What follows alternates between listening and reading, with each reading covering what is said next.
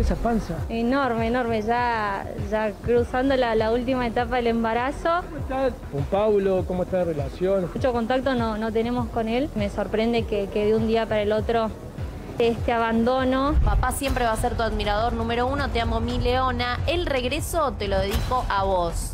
Rocío recoge el guante y también a través de las redes le responde.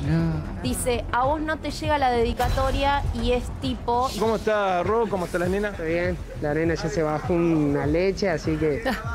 Rocío cuenta con, con una tarjeta de débito que a, a veces tiene fondos y otras veces no. Ha comprado algunas cositas para las nenas y me parece que quedó en medio el negativo. Lo que le está reclamando Rocío, tener una cuota alimentaria y un régimen de visitas. Esperemos que mañana podamos cerrar todos los acuerdos. Esto es una, Sí. es una gran victoria para, para tu familia en sí, ¿no? Para mis nenas, que les aseguré un techo.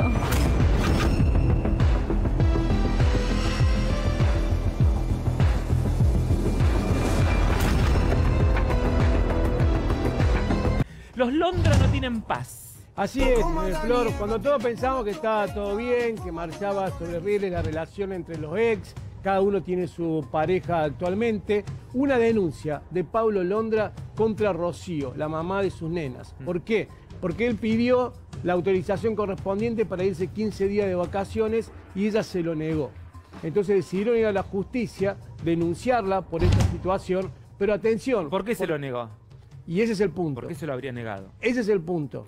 Rocío, primero que entiende que no están dadas las condiciones para que sus nenas tan chiquitas se vayan con su papá 15 días. ¿Qué edad y segundo, tienen? también dos, eh, ¿qué edad tienen? Sí. Dos y cinco, si no me equivoco. Y segundo, porque ya estando, digamos, con, con su papá o con sus abuelos en Córdoba, no recibe, según Rocío, la atención que ella merece. Entonces, menos va a dejar que ¿Y se pero qué vayan tiene 15 que ver? días. Por eso van a la justicia. La verdad, o sea, no me parece, perdón, ¿eh? pero no me parece. Me parece así como nosotros podemos cuidar de una criatura de dos y de cinco años y podemos irnos de vacaciones con un bebé de dos y otro de cinco años solas a cualquier lugar, el padre también tiene la misma posibilidad de hacerlo. O sea, no.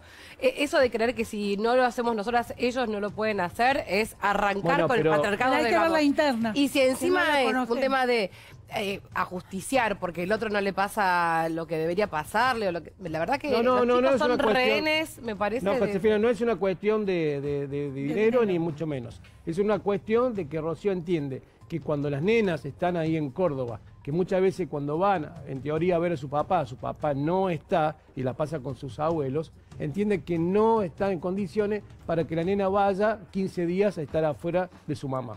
Y entiende que son muy chiquitos. Por eso que no se quedan con esto. Y yo lo que estoy tratando de averiguar si la presentación que van a hacer mañana, tengo entendido si llegan con todo, es en respuesta a esta denuncia de Pablo o es una denuncia nueva. Porque tendrían elementos también como para denunciar. Y es por eso que ahí cambian mucho las cosas.